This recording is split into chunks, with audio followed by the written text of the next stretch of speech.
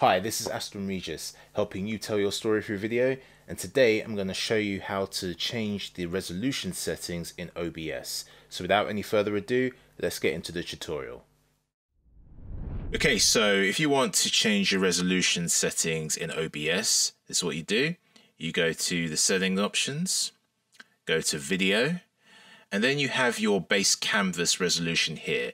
So mine's set to 5120 by 2880. So that's the display on my, um, that's what the resolution of my iMac is here um, and I'll show you here on the screen here. So you've got a 28 inch iMac at 5120 by 2880, so I'm just matching that here.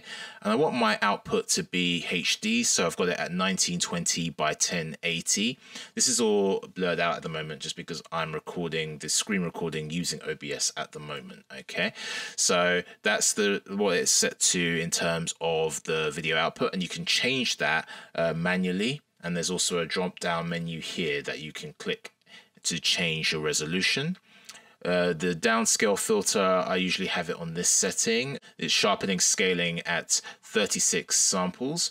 Um, and then I have this selected, the common FPS, so that's frames per second value. And because I'm in the UK, I would shoot at 25 frames per second because um, I like the cinematic look. But again, you might be shooting at 50 frames per second if you're in the UK. If you're in the US, maybe you shoot at 24 or um, 30 frames, 60 frames per second, whatever you need in terms of your frame rate. You put it here and then you click apply. I'm just going to click OK and you're ready to go. And then your resolution will then match what you have put in those settings. So that's how you change your resolution in OBS. So I hope you found this tutorial useful. If you have any further questions, please leave them in the comment section below and I'll do my best to answer. If you also have any further information or further knowledge to add, also leave them in the comment section below.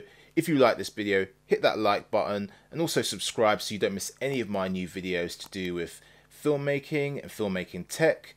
Till next time, this has been Asten Regis helping you tell your story through video. Peace.